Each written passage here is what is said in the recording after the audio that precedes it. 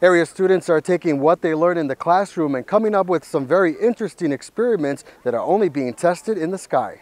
Three, two, one, fire.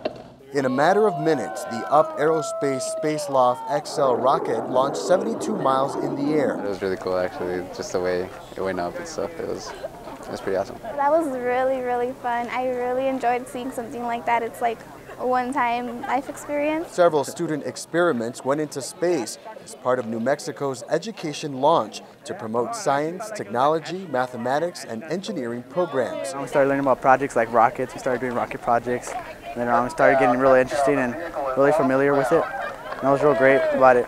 That's what got me interested and that's why I came here. It was worth it. Travis Duponte and Ariana Dimas are from Aztec High School. Their experiment focuses on electricity and if there's enough to generate during launch and flight to heat a New Mexico homegrown green chili. I heard about this thing called piezoelectricity and we thought it has to do with quartz crystals and stuff.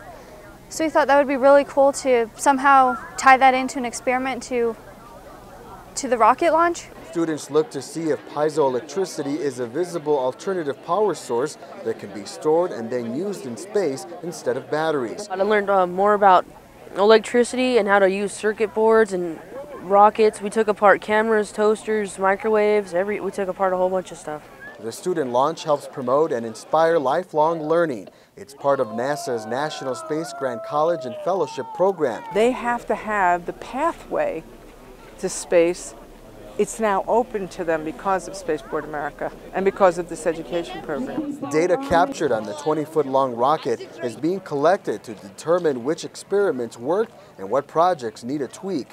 For KRWG, I'm Carlos Correa.